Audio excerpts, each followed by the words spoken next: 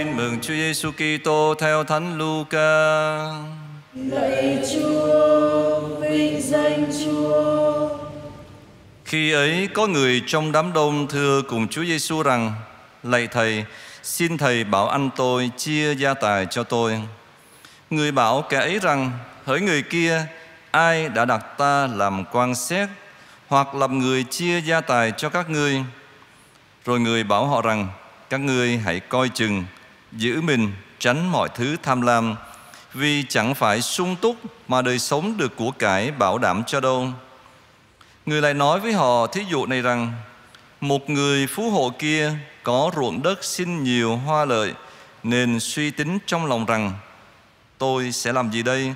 Vì tôi còn chỗ đâu mà tích trữ hoa lợi? Đoạn người ấy nói Tôi sẽ làm thế này Là phá các kho lẫm của tôi mà xây những cái lớn hơn. Rồi chất tất cả lúa thóc và của cải tôi vào đó, và tôi sẽ bảo linh hồn tôi rằng, Hỡi linh hồn, Người có nhiều của cải dự trữ cho nhiều năm, Ngươi hãy nghỉ ngơi, Ăn uống vui chơi đi. Nhưng Thiên Chúa bảo nó rằng, Hỡi kẻ ngu dại, Đêm nay người ta sẽ đòi linh hồn ngươi. Thế thì những của ngươi tích trữ sẽ để lại cho ai Vì kẻ tích trữ của cải cho mình Mà không làm giàu trước mặt Chúa thì cũng vậy. Đó là lời Chúa. Lạy Chúa Kitô, ngợi khen Chúa. Khôn ngoan và khờ dại. Kính thưa cộng đoàn, Trang tin mừng cho chúng ta thấy người phú hộ không phải là người kém cỏi Ông là người giỏi, biết làm ăn, biết tính toán, cho nên cơ nghiệp ngày càng phát triển. Tuy nhiên, ông lại là người thiếu khôn ngoan và bị kết án là đồ ngốc. Một lời kết án có thể nói rằng khá nặng nề. Vậy nguyên nhân nào khiến ông ta bị kết án như thế? Thưa cộng đoàn, ông bị kết án là thiếu khôn ngoan bởi lẽ ông nghĩ rằng của cải vật chất là điều kiện cần thiết có thể mang lại sự sống cho linh hồn.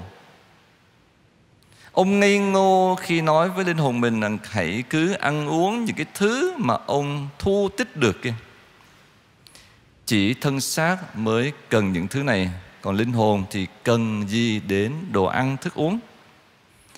Ngoài ra ông còn muốn nâng cấp tài sản của mình Bởi lẽ ông nghĩ rằng tài sản càng nhiều cuộc sống càng được bảo đảm. Trong khi đó, Chúa Giêsu lại muốn chúng ta hãy nâng cấp việc lành mà chúng ta có thể thực hiện, nghĩa là làm giàu trước mặt Thiên Chúa, làm giàu về lòng đạo đức, lòng tin, lòng mến, chứ không chỉ dừng lại ở việc nâng cấp của cái vật chất.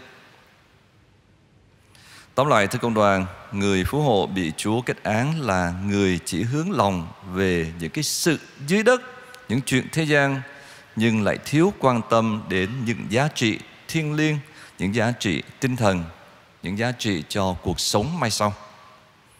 Thế nên trong khi làm giàu về phương diện của cái vật chất, người khôn ngoan đích thực sẽ chú tâm nhiều hơn để làm giàu trước mặt Thiên Chúa bằng một đời sống thánh thiện, nhất là đời sống quảng đại và bác ái với tha nhân. Suy niệm tin mừng hôm nay khiến chúng ta không thể không suy niệm về cái chết của chính chúng ta. Chẳng ai biết mình sẽ chết khi nào và như thế nào. Thế nên phải luôn tỉnh thức và sẵn sàng. Thái độ sẵn sàng như thế chính là thái độ của những người khôn ngoan, đích thực, nghĩa là những người luôn cố gắng làm giàu trước mặt thiên chúa.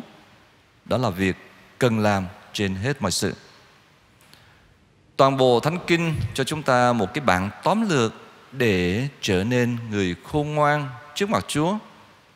Kính sợ thiên chúa là đầu mối mọi khôn ngoan giỏi làm ăn, tính toán, giỏi vinh tính, thể thao, giỏi âm nhạc, hội họa vân vân. Nói chung là giỏi về nhiều thứ nhưng lại thiếu lòng sung kính Thiên Chúa thì cũng ví như người phú hộ trong trang tin mừng ngày hôm nay là một kẻ đại ngốc.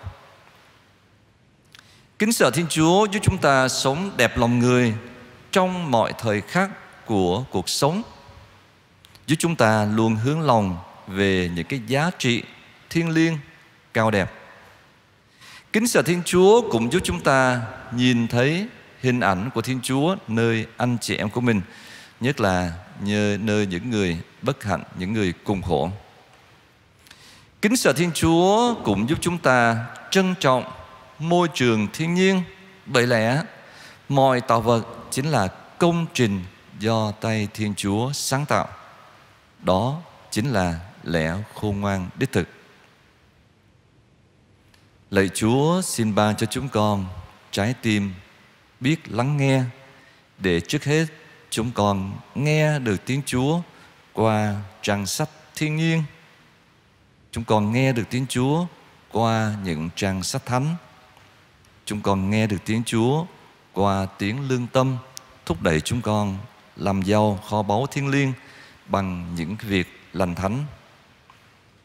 Bên cạnh việc nghe được tiếng Chúa, xin cho chúng con cùng có trái tim biết lắng nghe để nghe được tiếng của tha nhân, nhất là những người nghèo, những người thiếu thốn về vật chất lẫn tinh thần để chúng con có thể hiệp hành cùng họ giúp họ vơi đi những khó khăn và thử thách đang gặp phải.